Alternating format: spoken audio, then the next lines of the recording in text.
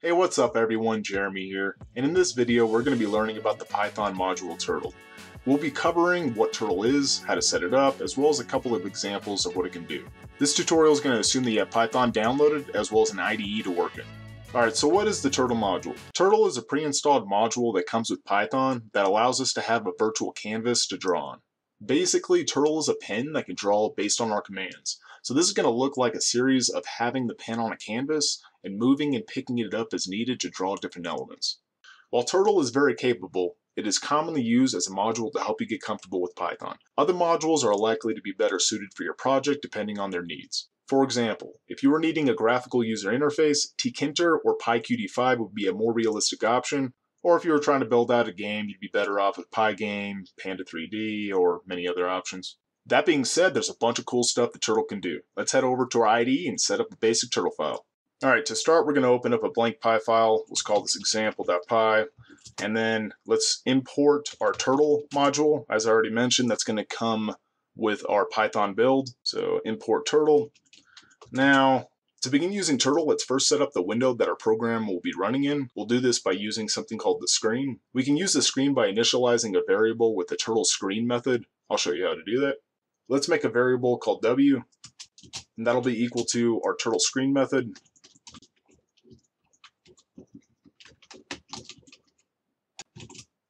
All right, so now that we have this method in this variable, let's go ahead and adjust a couple of properties. Um, the window size, for instance. Let's go ahead and with setup, we can adjust that. We'll go ahead and make the width uh, full width. For my screen, we'll do uh, 1920 as well as for the, the height, it's going to be 1080, and that's going to be for the size. Now for background color, let's let's go ahead and do, I don't know, what do you think, white? Let's go do, it doesn't matter. We'll, we'll try a couple things here. So white, bam, alrighty. Now the window is going to have a title for the application. Let's go ahead and adjust that if you wanted. Let's do a title. We'll do a turtle example. All right. And with those few things, that's going to have us all set up for a window. But if we wanted to run it, guess what we have? We're not going to have much of anything. So while this is going to open up our window, I want to have a delay to where it will not automatically close the window. We'll just have it close when we click it. So let's go ahead and add one final attribute, which is going to be an exit on click. And this is going to require, as I mentioned, a click before it closes. So let's go ahead and run this.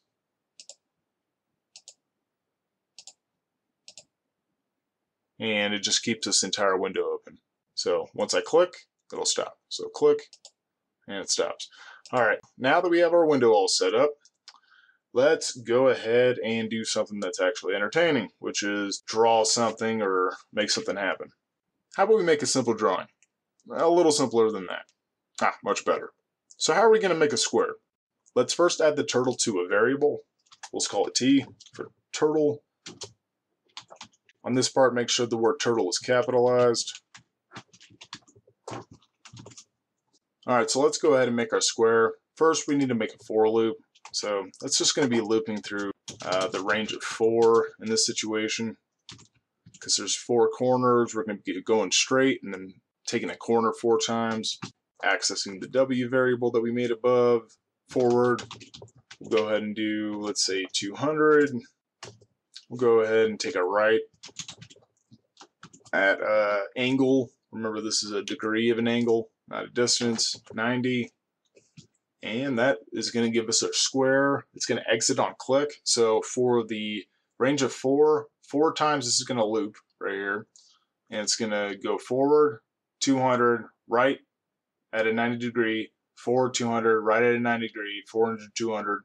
Uh, uh, you, you get what I'm saying. All right, so let's run that. As you can see, the screen object has no attribute for because I picked the wrong variable. So let's switch these to t, because that's the correct variable we need. And we'll go ahead and run that one more time. And that's going to give us our square. Now when we click, it's going to exit. Let's say we want to make an octagon or something. Let's do a range of 8, because we're just going to multiply this by 2. So 8 eight sides. Uh, we'll keep the 4 by 200, and then the angles can be divided by 2, so it's 45. Alright, that'll give us an octagon. Now you can of course adjust whatever settings you'd like, such as the background color, or whatever you want.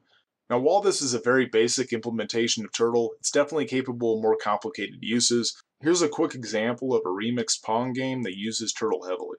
Alright, now I switched over to Sublime. It's going to be a little faster to run our project with everything that I have set up. Now I'm not going to get into this file too much, but I want to go over a few things. There are a lot more imports that I'm working with to run this entire project. Some of these things I'll go over, such as time, which allows certain delays throughout the project. Turtle we already gone through. Keyboard, which allows us to bind keys for certain things, such as moving the paddles, and uh, certain attacks that I added. Pickle allows us to save the scores to a file, along with getting the path from the OS module, and play sound is just for audio. Now there's a handful of things that Turtle is going to take ownership over in this project. We have the screen, which is going to be the actual window that pops up and the specs around that. We're going to have each paddle for player A, player B. We're going to have the ball. We're going to have, I called this a pen, it needs to be renamed. It should be score. Just keeps the score at the top of the screen. Once you get to three, you win. The center court line, and that's going to be it. All right, so let's go ahead and build this. Now it starts us off with the countdown. Each player has control over their own paddle. When it hits, it makes a sound. Now randomly, you have a chance of having a, a, uh, a move or an attack happen when it hits your paddle, or if you hit a certain key correctly at the right time, it'll blast out like a super attack. They vary between the players. So player B's, well, that's not, let's try it again. So just kind of throws a crazy ball at you. Now we have the scores. So the scores for the leaderboard that was shown at the end is kept in a file that can be reset when you press R. And I'll give a quick scroll through this file so you can see what's going on a little bit better. You know, everything from turtle up here, different methods and all that good stuff. Our main loop, and going pretty fast, but if you need to slow this down, of course you can. I'll try to make a copy of this easily available if interested.